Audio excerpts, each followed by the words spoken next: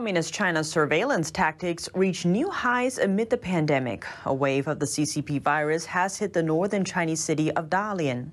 And now, in addition to repeated virus tests and massive lockdowns, the communist regime has started installing an alarm system on the door of each household so it can watch the quarantined residents.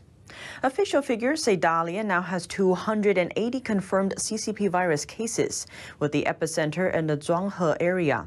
Since last week, almost all business operations in the area have been suspended, and authorities have put a seal on the door of every household, affecting the entire area's population of 900,000 people.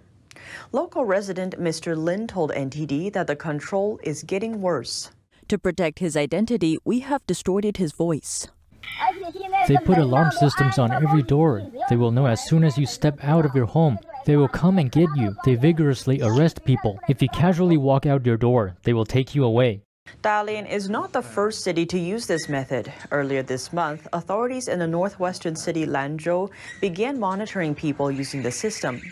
Local media posted a video praising the system for its effectiveness. The video shows the system detected that someone opened an apartment door in Building D.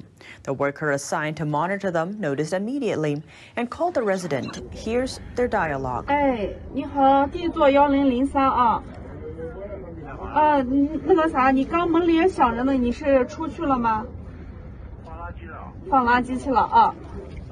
好的，好的，那就赶紧回家啊。好嘞，好，嗯，再见，嗯。